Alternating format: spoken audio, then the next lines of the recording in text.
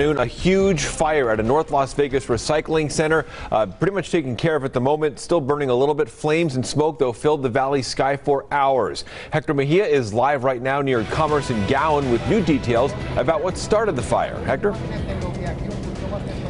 Hey there, well, investigators believe garbage that was really hot is what caused this large fire scene you see right behind us. The good news this afternoon, no reports of injuries. Right now, as you can see, crews are still hosing down hot spots and they've made significant progress. Since 5 o'clock this morning, that's when the first 911 calls came in. We've learned it only took minutes for this fire to spread. In this video shot by North Las Vegas Fire Department, you see large flames burning around stacks of cardboard and plastic. This is the Republic Services Recycling Center up in North Las Vegas, and it tore through several hundred of those tall stacks. Investigators believe it all started outside and spread into the building.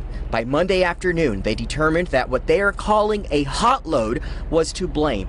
A truck was delivered uh, when it off when it drops off the, the waste it has. Uh, sometimes they have things in there that catch on fire. You saw the fire load that we had when we got on scene, and that only took minutes for it to extend because there's not a lot of barrier to keep the fire from growing. We're told this is mostly an open area warehouse where garbage, mainly recyclables, gets delivered and sorted. These bales of cardboard are the ones that are typically brought in from local businesses.